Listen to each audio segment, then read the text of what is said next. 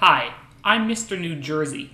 I'm making this video to commemorate the 20th anniversary of the greatest TV show ever set in my home state, HBO's The Sopranos. Here's a fair warning.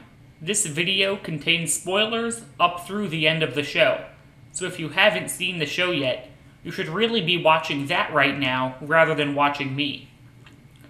The Sopranos, which first aired in January 1999, follows the story of Tony Soprano, a high ranking member of a New Jersey mafia family.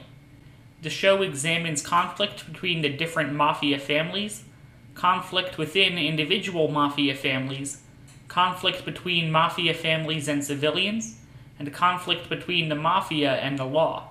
But perhaps the most important conflict showcased in The Sopranos is that within Tony Soprano's actual biological family, and how his life of crime, lies, cheating, and violence put an immense strain on his family life.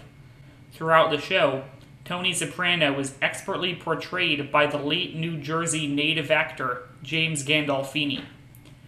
One particularly great plotline is Tony's relationship with his mother, Livia.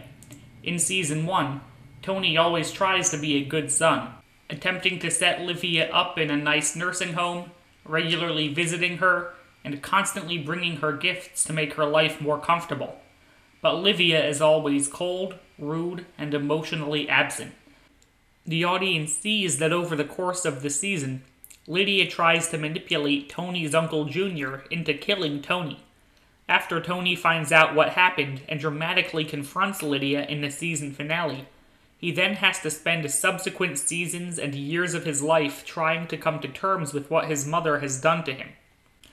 I think part of what makes The Sopranos such a great show is that it effectively walks the line that a lot of early crime dramas struggled with both humanizing those engaged with criminal activity, but also refusing to romanticize the criminal activity. We see how much Tony loves his family and how he adores animals, such as ducks that end up in his pool. These acts of love remind us that he is a human with the potential for good in him who ended up going down the wrong path. Yet we also see Tony committing heinous acts, all the way up to repeated cold blooded murders. These remind us that what Tony does isn't in any way justifiable. Another fantastic innovation of The Sopranos is its examination of Tony's own psyche and depression through the lens of his therapy sessions with Dr. Melfi. Putting your protagonist under the viewing light provides immense insight into who he is, how he thinks, and what drives and troubles him that not a lot of shows match. One controversial and yet necessary to mention aspect of The Sopranos is its ending, which occurs in Holsten's ice cream parlor. The scene features dual emotions. On the one hand, showing a pleasant moment where Tony is eating with his family, but on the other hand, showing a suspicious character entering the parlor, possibly to shoot Tony. The tension of the scene keeps building up and up and up, right until the moment that the scene goes black and leaves the audience hanging, unsure if the darkness signals Tony's death or merely the end of the show. Fans of the show have endlessly debated the meaning of this final scene, and I still regularly end up discussing it with people even though the finale is more than a decade old. Those saying Tony died often point to shot composition patterns of the scene, arguing that the moment the screen goes black should, according to the pattern, be a shot from Tony's perspective, meaning Tony has died and his perspective is darkness.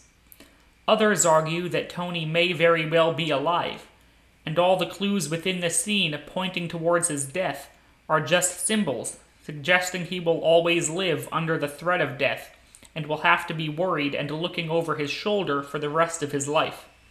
I'll link a great video by Screen Prism in this video's description, which goes over the evidence in The Sopranos ending in detail and tries to tease out the broader life messages that show creator David Chase is trying to reveal through the ending.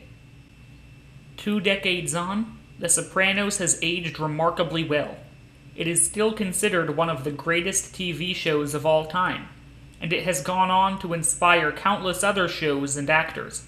For instance, Bryan Cranston has cited Tony Soprano as an important influence on his character, Walter White, in another of my favorite shows, AMC's drug dealing drama, Breaking Bad.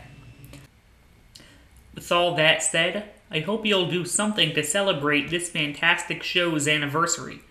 Whether you rewatch it from start to finish, as I recently did, read some of the new books or interviews about it, or even just travel to some of the hundreds of filming locations around the state. The Sopranos was largely filmed on location right here in New Jersey, after all. For instance, you can see the Paterson Great Falls, where mobsters throw someone over a bridge to his death in season 1. You can also enjoy your own dramatic meal at Holsten's Ice Cream Parlor in Bloomfield, and buy some Sopranos merchandise while you're there. You can drive by the Satin Doll Strip Club in Lodi, which was used as a mafia front establishment called the Bada Bing on the show. You can even take a guided tour of Sopranos filming locations, which will show you many, many more sites than I can list in this video. Another thing you can do to celebrate is watch some of the other shows that Sopranos actors have been in. For instance, Two critically acclaimed shows with Sopranos actors are Nurse Jackie, in which Edie Falco, Carmela's actress, stars as a drug addicted nurse, and Boardwalk Empire, in which Steve Buscemi, Tony Blundetto's actor, stars as a corrupt Prohibition era Atlantic City political machine boss. Whatever you do to celebrate this momentous anniversary, please have a good time. If you enjoyed this video, like it, subscribe to the channel, and hit the notification bell for more videos on New Jersey culture, history, tourism tips, and geography. Have a nice day, and I'll see you next time.